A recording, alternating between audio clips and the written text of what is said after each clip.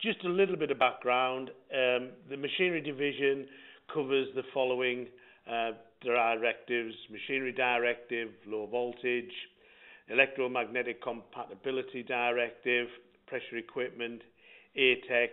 We also carry out PUWER inspections on a, a national basis and, and across Europe. Uh, we will provide countrywide seminars, uh, either at a, a designated facility or we can could do in-house seminars, whichever suits. Um, we're also the, the technical appointed technical advisors for the PPMA, the Process Packaging Machinery Association. Um, just moving on, we're going to be looking at the machinery directive in relationship to machines. Now, obviously, the directive does not distinguish between uh, a machine that sits on a table to a whole production line. Everything comes within the scope of the directive. And in, in the UK, we, we have two sets of regulations that we should be aware of. We have the, the Machinery Directive 2006 stroke 42 stroke EC. And that really lays down a requirement on the manufacturer that he has to comply with before he can place his machine or equipment for use on the European market. And, and that therefore applies mainly to new machinery getting produced or maybe some second-hand machinery coming from outside of Europe. However, when, when the, these directives were being developed, somebody in Europe said, well, what about all the equipment that we have in Europe at the present moment? So the European uh, Commission got together and, and come out with the Work Equipment Directive, which covers the use of existing equipment. And we placed that into our legislation as the provision and use of work equipment regulations 1998. So you, you, by first sight, it looks as if we have one set of regulations for the manufacturer and another set of regulations for the user. And if that was the case, life would be a lot easier. But there is a lot of overlaps between these two pieces of legislation, i.e., one simple one is Regulation 10 of PUWER says, as the user, if you were going to put a piece of equipment for use in your, your employment, then it must comply to all CE Uh, applicable directives. So therefore, the user now has a, a requirement to actually make sure that equipment they are getting is not only CE marked, but it is CE marked correctly.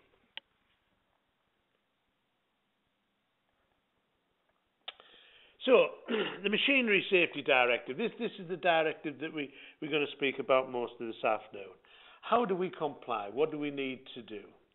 And the idea is to try and take a machine like that, where you know the guarding was perhaps not as good as it should be in the past, and there may be other hazards, up to a machine where we now have you know adequate guarding and safety precautions in place you know, the interlocks to, to ensure that if people go through a gate that the machine stops and is placed in a safe manner. So this is the, one of the main concepts of the machinery directive. Unfortunately, the only defence you have in the in the directives is that you've used due diligence. U Europe doesn't identify or recognise uh, reason to be practicable.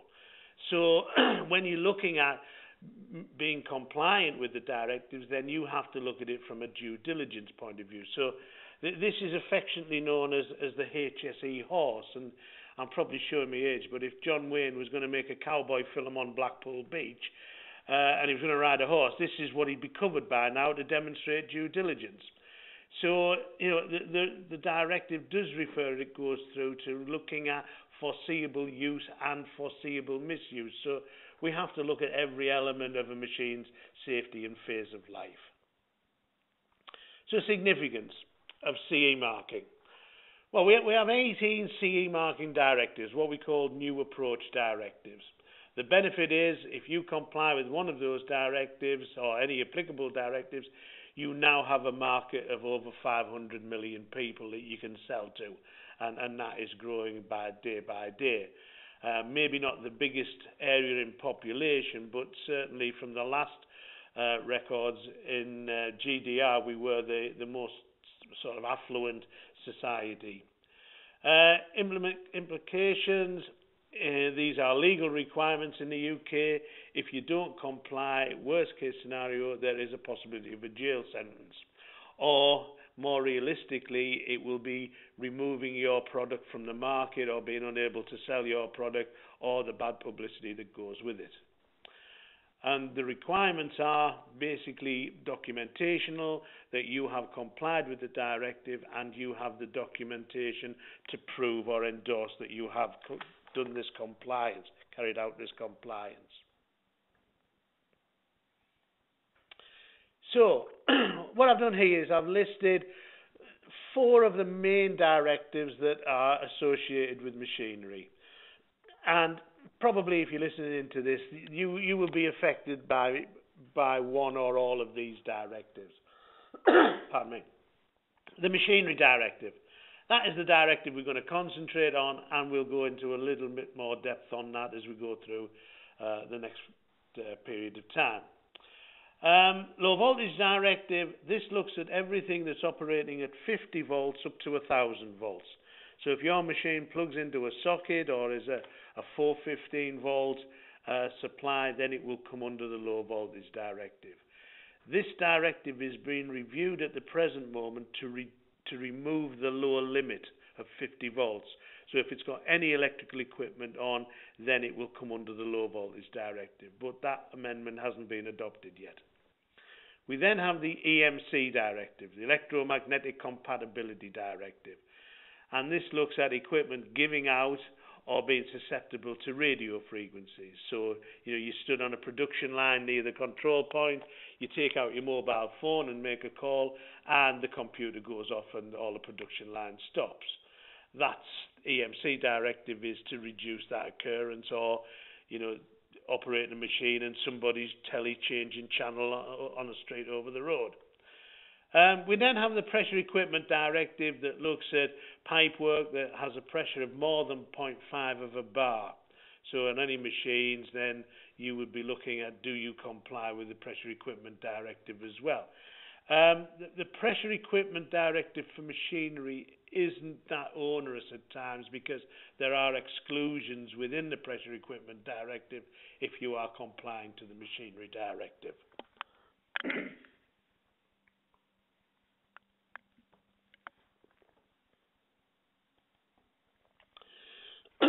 now, a directive, if we look at that, they each have a, an individual or a unique number.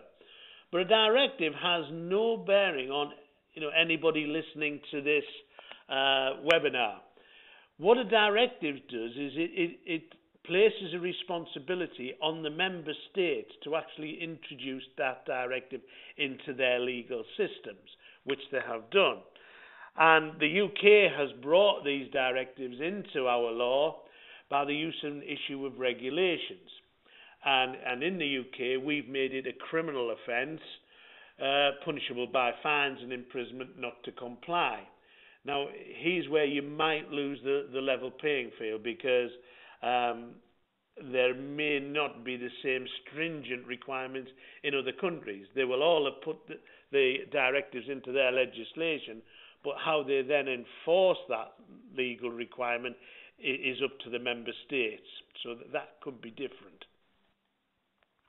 And so these are the four directives uh, introduced into our regulations. So the machinery directive becomes the supply of machinery in bracket safety regulations with a statutory instrument number of 1597. Again, that is unique for that regulation. The low voltage directive becomes the electrical equipment in bracket safety regulations and so on and so on. So that's the legal entity for, for, for us in the UK. And now, if we look at the machinery directive and try and break that down a little bit more, um, the first thing any directive does, and this is constant across the directives, is it actually has a scope of what the, the directive covers.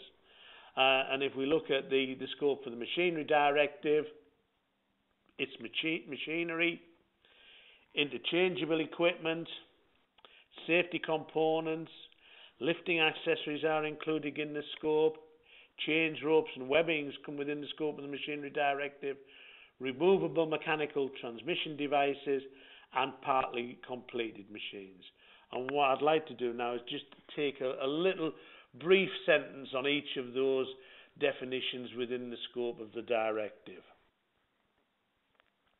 Firstly, what is machine? An assembly fitted with or intended to be fitted with a drive system other than direct applied manual or human effort. And the reason behind this is that if I'm applying manual effort and a hazard arises, if I take that manual effort off, then the hazard should go away. Um, consisting of linked parts or components, at least one of which moves and which are joined together for a specific application. And, and, and that last sentence is fairly important because you know you could say, well, an electric motor is it a machine? Well, it has linked parts and components, at least one of which moves. But from a manufacturing point of view, if I don't put a gear or a pulley on the end of the, the drive shaft, then it will not have a specific application. Therefore, from my point of view, I would suggest that an electric motor is not a machine. So, you know, it, it is looking at the detail of what, what is said in the directive. So if we have a, a machine like this that is driven by animal, uh, animal power, then it would not come under the, the scope of the directive.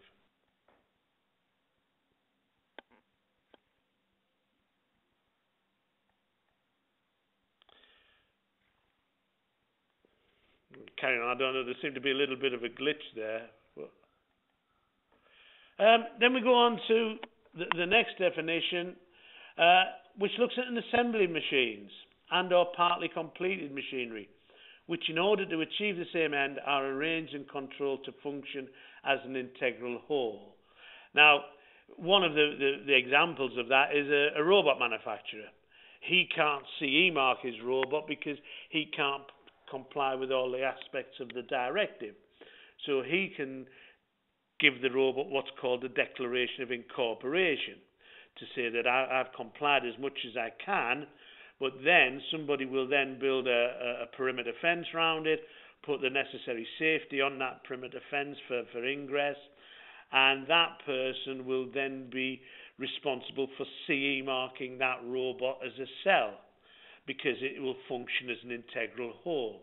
Or you could be looking at a bottling plant or, or any line where the machinery all works uh, together. So if we take a machine and we add some control and say we're going to add some automation, a robot, then although the machine may be CE compliant and marked and the robot may be CE compliant, what we would have to do is treat this as a complex assembly and CE mark it as such. The next definition is interchangeable equipment. And it, everybody should be aware that the machinery directive or any directive is trying to cover any aspect of where where that machinery or where that equipment is used. So it's not just factory use; it's it's across all aspects and all fields. And and this this scope definition was mainly aimed at, at the agricultural market, where you know you, you're looking at you have a base tractor and you're going to add different equipment on the back or the front of that tractor, and thereby that can alter the safety or the function of that tractor. So what this is, interchangeable equipment means a device which after placing into service with machinery or tractor is assembled with that machinery or tractor by the operator himself in order to change its function or attribute a new function insofar as this equipment is not a tool. So if we had an injection molding machine, if we were just going to change the tools, then those tools don't become interchangeable equipment. So if we take that example where we've added a, a ploughing equipment to the, the tractor, could that make the tractor more susceptible to turning over or, or tipping over? So that, that interchangeable equipment has to be CE marked to make sure it is compatible with that use for that tractor. Lifting apparatus whose only source is directly applied manual effort is included in the scope of the directive because obviously if I'm applying that manual effort and I take it off, then there's a possibility that that the load could fall on somebody's head or my head. So that is included in the directive. Uh, lifting equipment, an assembly of linked parts or components, again, at least of one of which moves, which are going, joined together, intended for lifting loads, and whose only power source is direct applied human effort, are included in the directive. Lifting accessory means a component or equipment not attached to the lifting machinery, but allowing the, the load to be held, which is placed between the machinery and the load or on the load itself. So we're looking at hooks and anything of, of that nature. So if we're lifting, then that would become classed as a machine or within the scope of the of the machinery directive.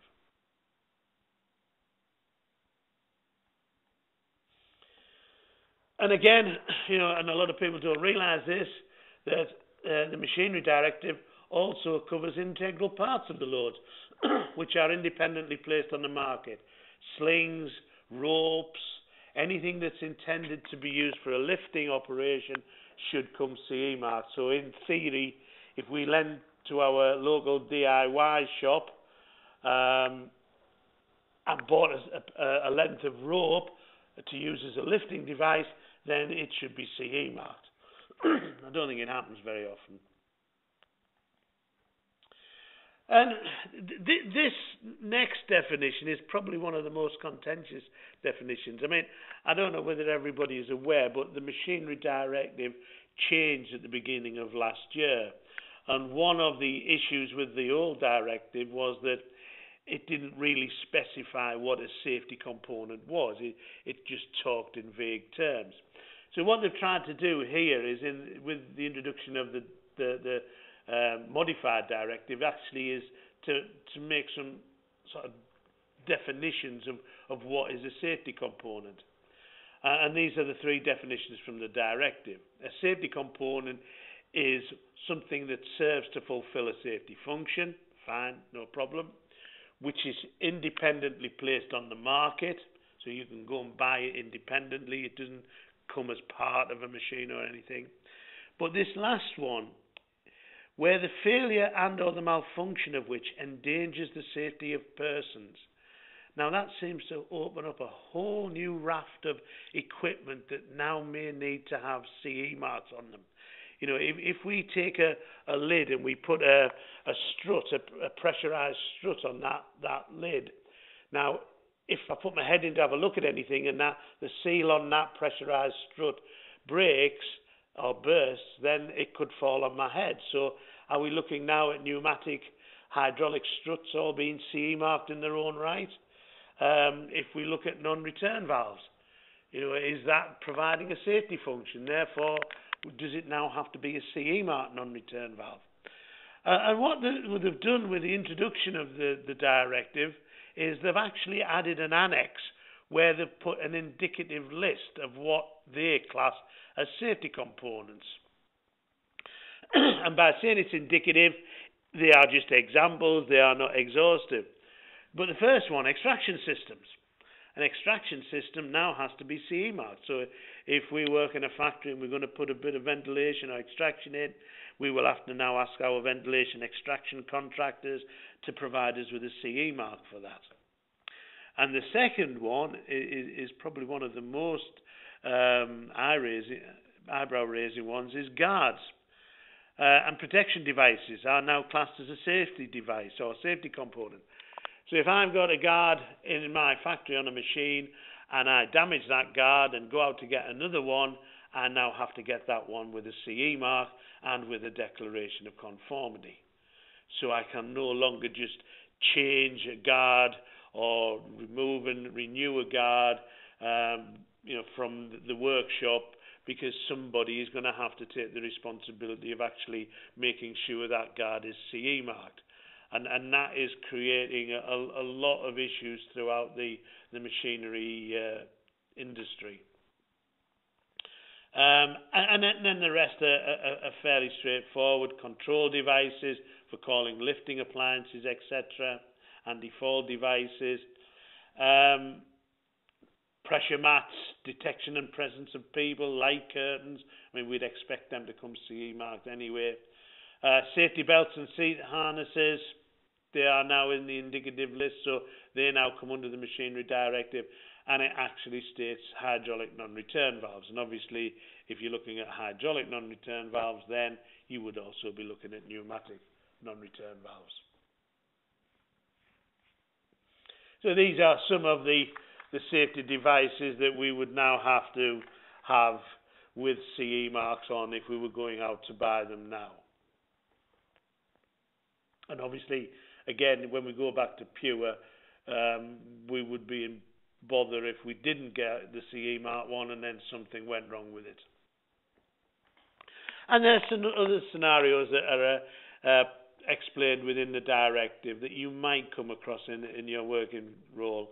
Um, and the first one is if you are creating a complex assembly by interlinking a series of existing machines, you are in effect creating something new on the European market. Therefore, whoever is carrying out that work must ensure that the whole assembly complies with the directive regardless of the age of the of the machines that we're looking at.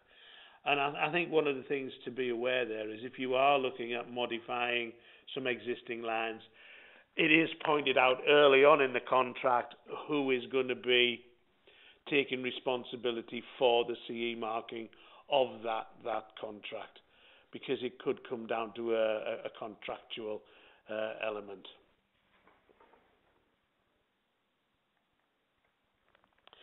If you're altering the, the function or performance of a machine or complex assembly, as far as the directive is concerned, you are again creating something new and must ensure that the directive is complied with. So, if I was, I had a line making fish fingers or packing fish fingers, and I was going to take that line and speed it up to pack more fish fingers, obviously the existing guarding might not now be sufficient uh, rigidity to stop the fish fingers flying off. So if I was taking it out of the intended parameters of, of that, that, that machine, then I would have to CE mark it again.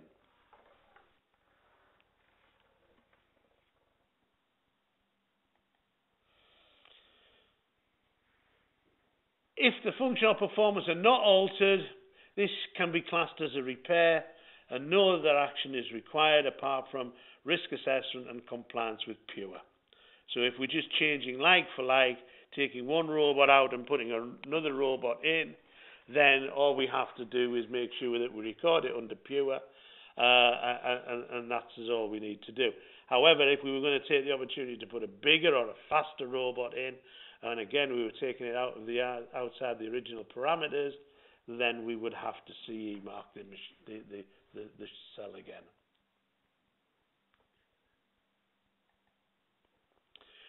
And what, what's happened is they have uh, extended the exemptions in the directive, and these are just the, the, the new exemptions. Means of transport uh, now includes trailers. Household appliances have been taken out of the machinery directive and placed in the low voltage directive. There was always this issue that if you took an electric lawnmower on a dry day, the, chan- that the main hazard was you would cut your toe off so it would come under the machinery directive. And on a wet day, the main hazard was you'd electrocute yourself, so it could then come under the low voltage directive, which was a silly sort of situation. So they've taken all household appliances now out of the machinery directive and placed them into the uh, low voltage directive. So in theory, we can't get a washing machine now because it's not a machine. Uh, IT equipment's been taken out, audio, visual, you know, office machinery, photocopiers have moving parts, but is there any real hazard? Very little. So they've all gone into the low voltage directive as well. Uh, circuit breakers, switches, low voltage and high voltage switch gear, and as we were talking about earlier, motors of all type have now been removed out of the machinery directive and placed into the low voltage directive. So if we've got any motors that we're going to buy off the shelf, make sure that they are the declaration of conformity complies to the low voltage directive and not the machinery directive. Excuse me. and this is something that, that, that people miss. And a lot of the directive is, is, you know, there's certain grey areas, but this is fairly black and white. And it says that these regulations also apply to in-house machinery, where the manufacturer of the relevant machinery himself puts that machinery into service, or having imported machinery from a country or territory outside the EEA puts that machinery into service. So, as far as the directive is concerned, if I am going to take a machine, build it in my own premises, only ever use it for myself, there is no distinction. You still have to CE mark it, issue a declaration of conformity to yourself, and ensure it complies with all, all the machinery requirements. Low voltage and EMC directives are slightly different. What this is that you have to comply with the directive, but you don't have to CE mark the, the actual equipment. But the machinery directive is fairly specific on that. You do have to do that. So if you've got an in-house machine that you're going to modify and change the function or performance, although you're not selling it, you still should CE mark it. And if you're importing machinery from outside the EEA, which is the European Economic Area, then again, you need to make sure that there are uh, European agents or somebody in Europe who is responsible for the CE marking of that equipment. It can be CE marked by somebody outside of the EEA, but it's always worthwhile to check that there is somebody in the EEA who is taking that responsibility. and there has to be a responsible person. This is the wording of the directive. There has to be a responsible person appointed. Uh, the manufacturer can be the responsible person, or if he doesn't feel he's competent to do that, he can appoint an authorised representative. And that person must carry out a risk assessment. Uh, and strangely enough, that was never asked for uh, in, in the directives that were previous to this one. So this is fairly new, asking for a risk assessment. And what it says is The risk assessment should be carried out in order to determine the health and safety requirements which apply to the machinery and have they been met. And the manufacturer as authorised representative must determine the limits of the machinery which include, as we said before, intended use and any reasonably foreseeable misuse thereof. So that, that is one of the, the crystal balls that we have to look at. Uh, and I'm sure when the people manufactured this dried on lawnmower, they weren't envisaging anybody cutting his hedge with it. but you see, that's what we have to look at foreseeable misuse. And the downside is in the UK, non compliances could result in prosecution and penalties on a summary conviction of a fine not to exceed the statutory maximum, which is £20,000 and or 12 months imprisonment, or on conviction of an indictment, an unlimited fine and or two years imprisonment. Uh, and we asked the solicitor what, what the, the difference was there, and a summary conviction would be something that's dealt with at a magistrate's court. Uh, a conviction of an indictment would be something that's dealt with at a Crown Court. Um, again, you know, there's nobody that I know have gone to prison for incorrectly CE marking their machines as of yet. But there is always that possibility.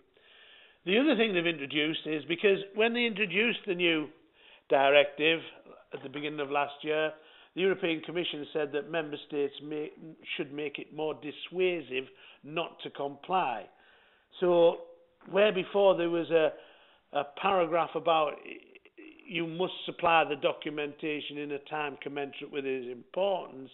They've now said if you don't do that, there is a, a, a monetary penalty for that now. So if asked to produce a technical file and we don't do it in the time specified, then it could be a £20,000 fine. Um, again, operating instructions could be another 20,000. So we could very, very soon start uh, sort of racking up a, a fair amount of money on that. So it, it does make it more important to make sure that the documentation is there and available. So if we look at the machinery directive, and, and the, the, whole essence be, be, behind new approach directives is what we call the essential health and safety requirements. maybe called slightly different in different directives. In the low voltage directives, they're called the, the essential safety requirements, but basically the same thing. And this is a wish list of what you have to do as the manufacturer, or if you're the user, what you have to check that the manufacturer has done. Uh, and, and, there's a list of questions, but they're, they're, they're not prescriptive. They're very much open to interpretation you know, I'm not going to go through them all. They're split into six sections. Section one is general and applies to all machinery, so that has to be filled in for every machine.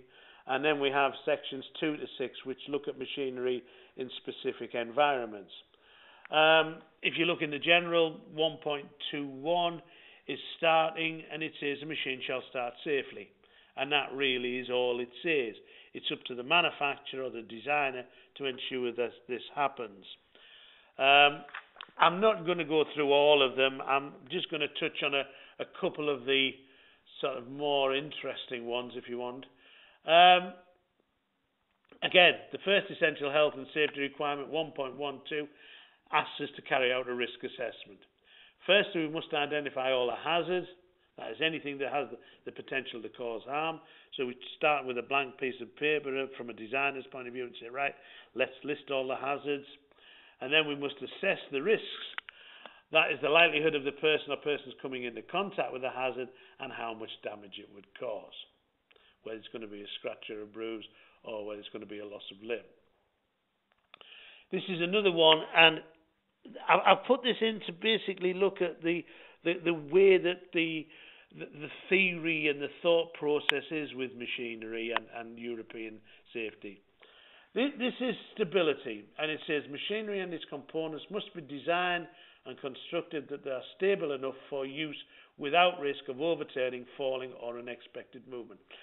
That is the same as the, what was in the, the previous directive. This has been added, the second sentence. This requirement also applies during transportation assembly, dismantling, scrapping, and any other action involving the machinery.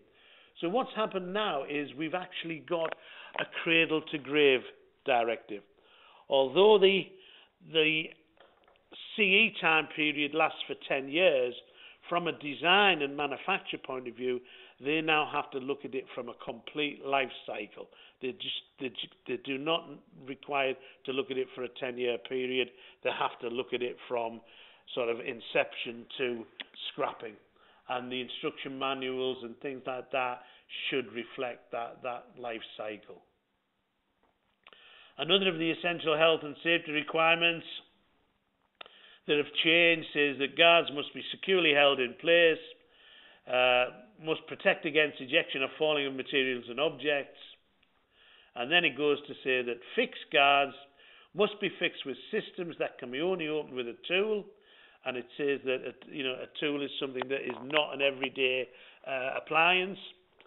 And this is the, the, the the one that really is catching a lot of people out is their fixings must remain attached to the guard when the guard is removed. So every guard now, every fixed guard has to have retained fixings. So every machine that has been made or produced to the, the previous directive will now have to be modified. So if you're buying anything and it has guards on, those guards have to have retained fixings. And where possible, guards must be incapable of remaining in position without their fixings.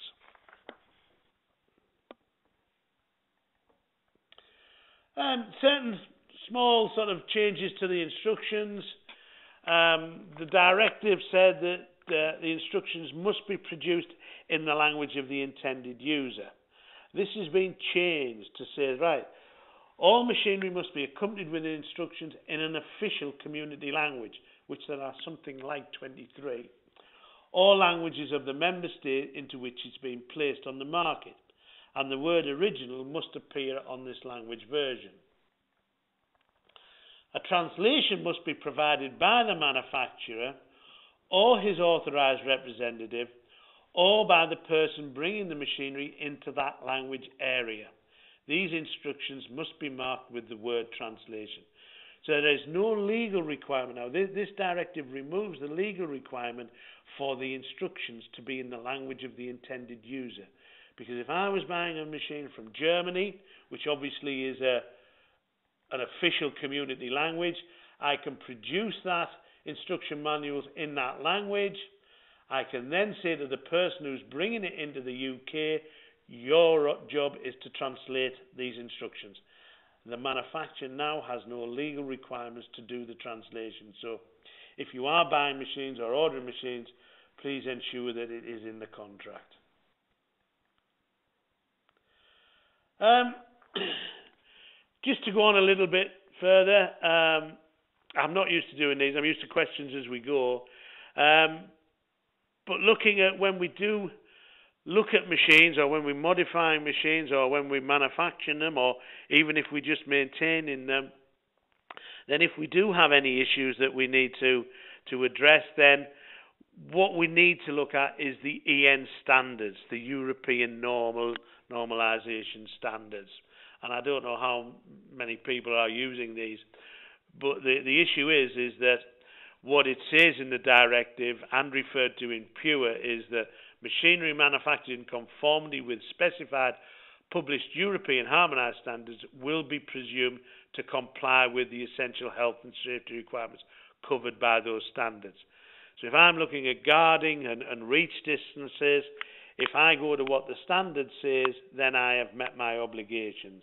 I don't have to do any more. All I have to do is what the standard says.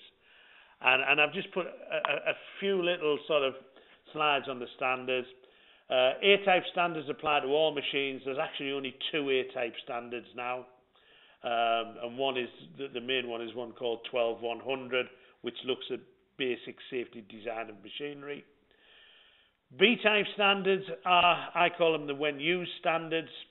So if I'm going to put an emergency stop on, there is an emergency stop standard 13850, which will tell me what I need to do. If I'm going to put guards on, there are various guarding standards. If I'm going to put electricity into it, it there's an EN standard 60204. And then we have C-type standards, where, which are specific for a machinery type. So if I'm building a robot, there is a C-type standard for robots. I need to just check that my robot meets that C-type standard because again, C-type standard mm, gives you presumption of compliance to the directive. I mean, there, there is a bit of discussion going on whether some type C-type standards actually do give you full compliance with the directive, but that hasn't been resolved yet. So we start off with the a-type standards, we move these to the B-type standards, and then the C-type standard or the machine-specific standard should incorporate the best parts of the, the relevant standards that, that are attributed to that particular machine. Um, if you're looking at standards, nearly all EN standards are linked to a particular directive. For the machinery directive, you're looking somewhere in the region of about 650 link standards, but but out of that there'll only be sort of 15 to, to 30 that you would come across on a regular basis. Examples, B-type standards 953, selection of guarding, manufacturing of guards, 13857, the positioning of guards to protect upper and lower limbs, um, this is just one I put in because this is just something that I, I don't really understand. This standard establishes values for safety distances to prevent danger zones being reached by the upper limbs of persons of three years of age and above. and it also provides safety distances to prevent danger zones being reached by the lower limbs of persons of 14 years of age and above. I, I don't know why we differentiate with age. I, have I've never understood that. Um, and I don't think we employ a lot of three-year-olds now at the present moment. Um, but, however, that, that is the scope of that, that standard.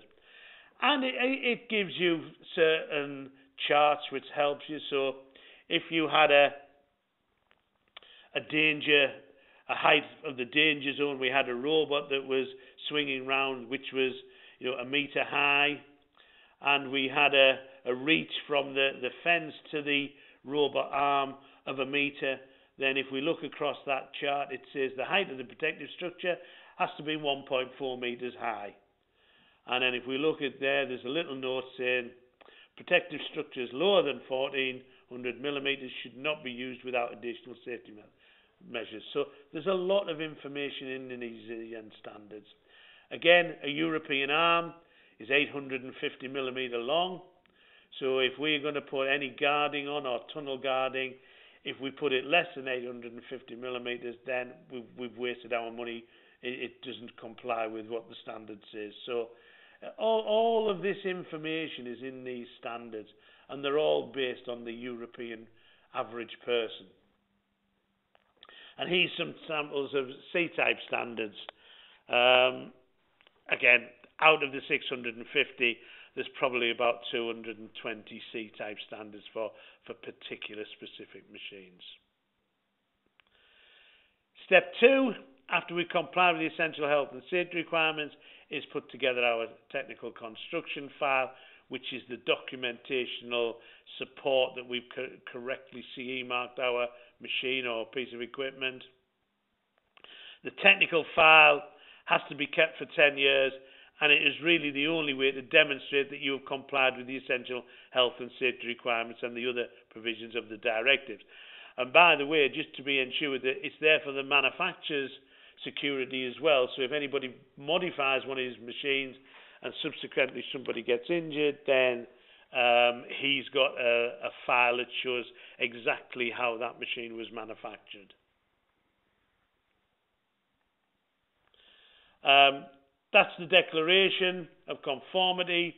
Um, it's a standard. All, all of the information required is in the annex of the directive. The only difference is that we now have to put on the name and of the address of the person in the community who is authorized to compile a technical file, if different from a book. So a technical file for every piece of machine has to reside in the European Union because that person has to be, that address has to be a European address.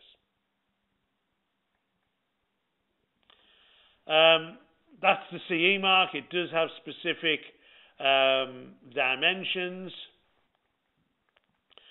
And just a very quick, um, just to let you know that things are changing from a functional safety point of view.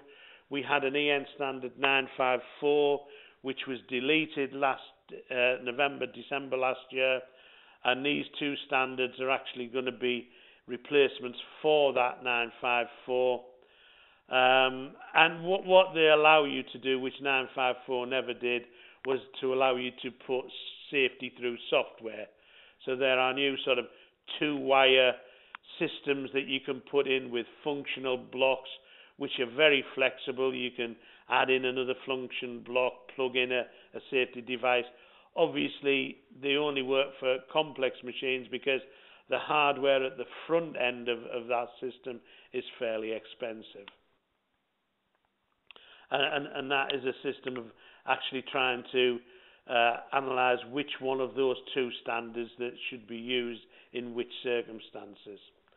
13849, the direct replacement for 954, uh, where 954 had categories 3949 introduces performance levels and it looks at the component parts as well now, not just at the type of wiring or piping, it looks at what the integrity of the components you're using.